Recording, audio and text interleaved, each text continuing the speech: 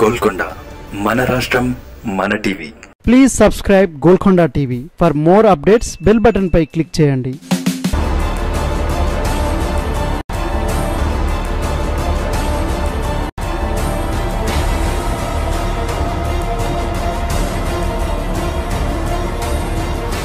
ఉప ఎన్నికల ఫలితాల్లో భాజపా విజయ ఢంకా మోగించింది.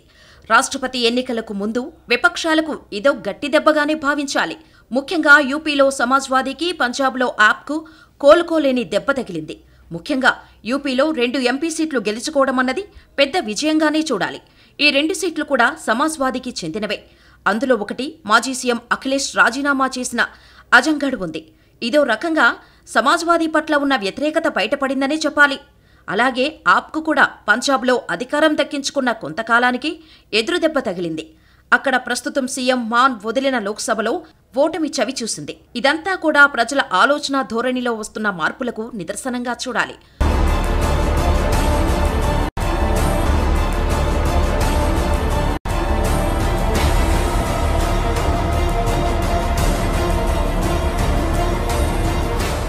ప్రజలు కూడా విపక్షాల తీరుపై అసంతృప్తిగా ఉన్నారని అనుకోవాలి.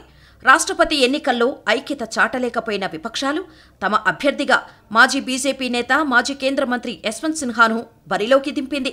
ఎన్డీఏ ఓ గిరిజన మహిళ ద్రౌపది ముర్మును బరిలోకి దింపినా పోటీ నుంచి తప్పుకోవటానికి విపక్షాలు సిద్ధంగా లేవని కూడా తేలిపోయింది. యశ్వంత్ సిన్హా సోమవారం తన నామినేషన్ సమర్పించడంతో ఇక పోటీ అనివార్యమని లేకపోయింది. అయితే ఉప ఎన్నికల ఫలితాలతో విపక్షాల్లో కనువిప్పు కలగటం లేదని కూడా అర్థమవుతోంది. మరోవైపు మహారాష్ట్రలో శివసేన పుట్టి మునుగుతోంది. శివసేన ప్రభుత్వం కూలడం ఖాయంగా కనిపిస్తోంది. సిద్ధాంతాలను పక్కన పెట్టి కాంగ్రెస్ ఎన్సీపీలతో పొత్తు పెట్టుకోవడం దారుణం కాక మరొకటి కాదు.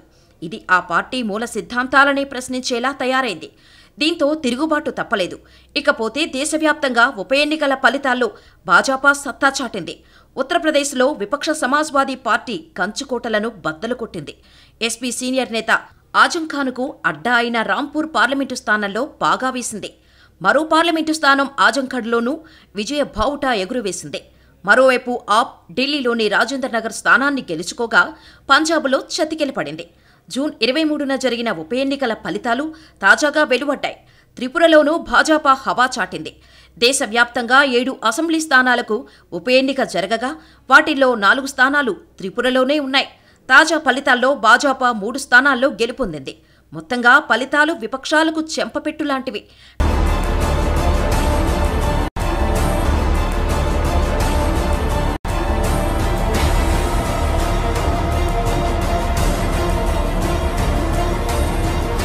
బీజేపీపై విమర్శలు గుప్పిస్తున్న ఆప్ సమాజ్వాదీలకు గట్టి షాకిచ్చాయి. ఈ క్రమంలో విపక్షాలు తమ ఐక్యత చాటేందుకు మరింత ప్రణాళికతో ముందుకు సాగాలి.